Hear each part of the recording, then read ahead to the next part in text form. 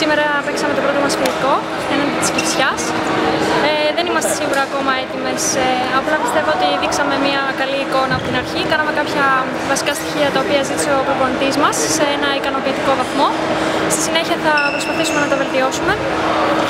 Ε, είμαι πάρα πολύ Περι... Βασικά ένιωσα πάρα πολύ περίεργα που έπαιξα πρώτη φορά ενάντια της Κυψιάς. Είναι η πρώτη φορά που παίζω σε άλλη ομάδα. Ε, να μην είχα συνέστημα στην αρχή, απλά τα έδωσα και να προχωρήσουμε μπροστά.